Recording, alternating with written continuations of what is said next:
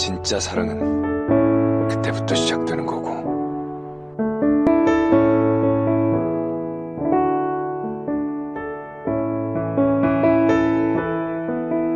내 눈앞에 있지 말고 빨리 저 가라고요. 안 간다고요. 괜찮습니까?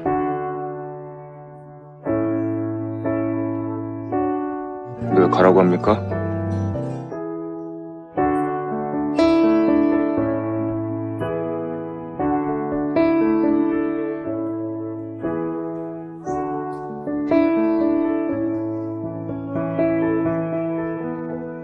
진짜 누굴 좋아하면 복잡할 일 없어.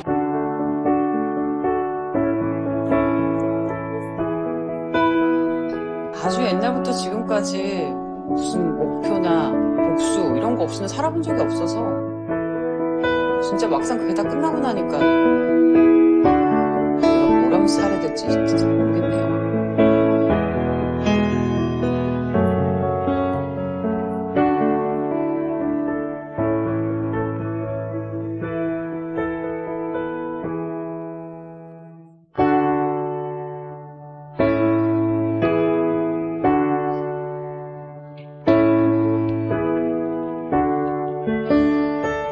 그동안 내 자리 찾겠다고 이거저거 해봤는데 어디서 뭘 하든 내 사람 옆이면 거기가 내 자리 아닌가 싶더라고요.